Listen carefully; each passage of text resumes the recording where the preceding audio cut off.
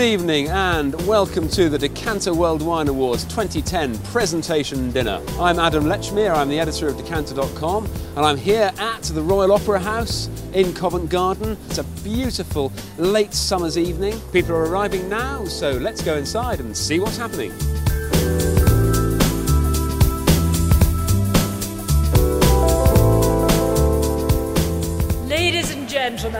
Welcome to the 2010 Decanter World Wine Awards. I have here with me Antonio Lafranco. Um, Antonio, what uh, wines are up for an award tonight? We participated with eight wines and we won uh, three silver medals, three bronze, and two recommendations.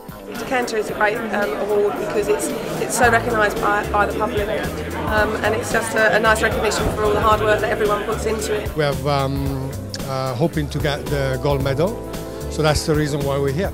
So this evening is really important for us because in just one room you have the chance to taste most the, of the wine from all over the world.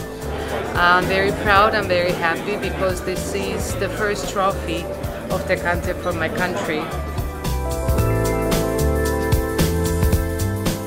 The winner is the 2008 Soave from Fattori Giovanni. Please welcome on stage the enologist Antonio Fattori. And the trophy goes to Chile with the 2009 from Casa Marin welcome on stage the winemaker Maria Marin.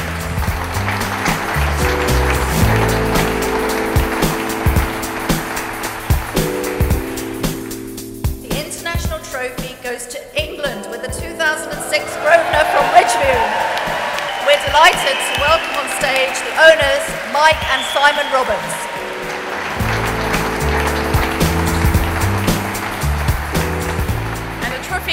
To the 2006 Altivo Secret from Finca Hereña. Please welcome on stage the head winemaker, Andrea Ferreira. Widely recognised as one of Montalcino's rising stars, the award goes to Tenuta Vitanza with its 2004.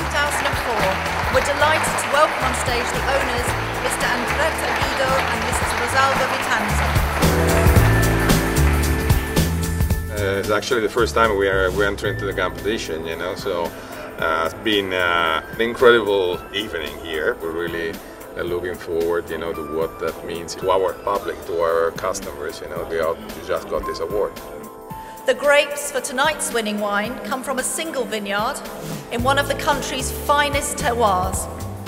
In the foothills of Upper Galilee's Mount Meron, the winner goes to Israel with the 2006 Kayoumi Shiraz from Carmel Winery. Please welcome on stage the Chief Winemaker, Mr. Lior Lacser, and the Wine Development Director, Adam Montefiore. The wine that won the trophy, the original trophy, is Shiraz Kayoumi 2006. And it's a great honor for us to be recognized by Decanter Magazine. I look forward to seeing you at the 2011 Decanter World Wine Awards. Good night and thank you.